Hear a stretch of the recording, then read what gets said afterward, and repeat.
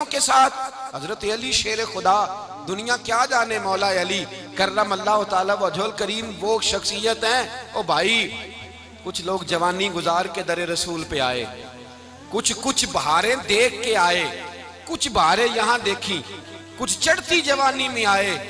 अलीगुल मुर्तदा शेर खुदा कहते हैं, मैंने कोई जवानी नहीं देखी। मैं दस साल का था जब नबी पाक के कदमों से लग गया था। दस साल का मैनू इश्क लगा सी, खेडा खेडनी नू। ते खेडा भुलदे आ भुलदे आ भुल गईयां मैं कज्जल पाया सी यार दे वेखने नू। फिर ओदी याद विच रोंदे आई डुल गईयां हैदर शाह इस गली कदे न रुलदी, पर हुन ते रुलदी रुलदी, रुल गईयां हज़रत अली शेर खुदा, वाकया क्या हुआ? पहली बात तो ये कि रसूल पाक ने उनके घर में तवरश पाई। हुजूर सलाम अब जब थोड़ा सा मामला बेहतर हुए, सरकार का निकाह हो गया, हज़रत खतीजतुल कुबरा के पास तशरीफ़ ले गए। कहत आ गया मक्का मुकरमा में, गुर्बत आ गई।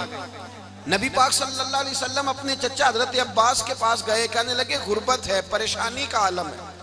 हालात दिगरगू हैं और जनाब अबू तालब पर बोझ बढ़ा है। चलो, चल के उनका बोझ बटाएँ। चलो। ठीक है, चलो। उनका एक एक बेटा ले आते हैं, उनके बच्चे ज़्यादा हैं। हम खिदमत करेंगे अपने चचाजाद भाइयों की, अपने घर में रखेंगे, बोझ बट जाएगा। हज़रत अब्बास कहते हैं, रसूल पाक मुझे साथ लेके गए। हमने जाके जनाब अबू तालब से बात की तो खुशी खुशी कहने लगे, ले जाओ जिसको दिल करे। जिसको दिल करे, ले जाओ। तो हज़रत अब्बास कहते हैं, मैंने हुजूर से कहा, जिसका आपको दिल करे, आप ले जाएँ। दूसरा मैं ले जाता हूँ। तो हुजूर ने फरमाया, आपका क्या ख्याल है? मैं किसको लेके जाऊँगा?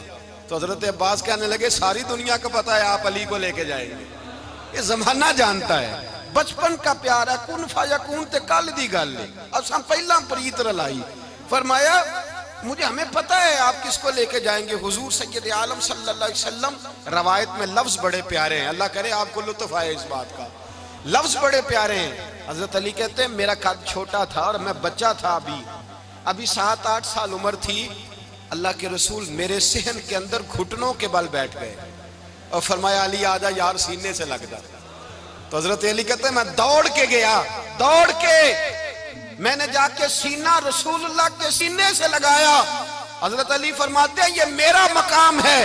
आठ साल की उम्र में सीना लगाया था और जब रसूलुल्लाह को कब्र में उतारा, फिर भी मेरा ही सीना मुस्तफ़ा के सीने से।